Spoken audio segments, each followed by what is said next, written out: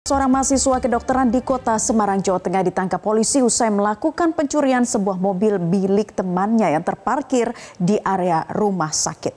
Kepada petugas, pelaku berdalih jika aksi pencurian yang dilakukannya hanya sekedar iseng. Dalam rekaman CCTV, pelaku terlihat berjalan kaki menyeberangi Jalan Dr. Cipto Semarang menuju area parkir mobil rumah sakit Panti Wilasa. Tidak berselang lama, mobil jenis Fortuner terlihat meninggalkan lokasi. Pelaku mencuri mobil tersebut milik MJ yang tidak lain merupakan teman koasnya di rumah sakit Panti Wilasa Semarang. Petugas kepolisian dari Polrestabes Semarang yang melakukan penyelidikan kemudian menangkap pelaku di kosnya di daerah Semarang beserta juga barang bukti mobil hasil curian.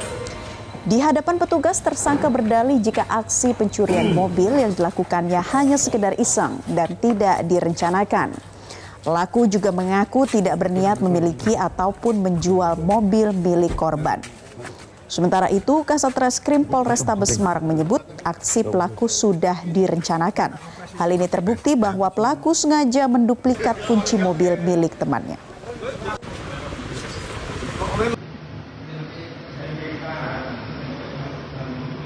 Pada waktu korban uh, melaksanakan koas di rumah sakit tersebut untuk kunci ditaruh di loker ya untuk kunci mobil Fortuner ditaruh di loker dan tersangka ini sudah mempersiapkan dengan uh, membeli kunci Fortuner yang sudah ada tapi dalamnya di dalam dirawat tersangka ini. Jelajahi cara baru mendapatkan informasi. Download Metro TV Extend sekarang.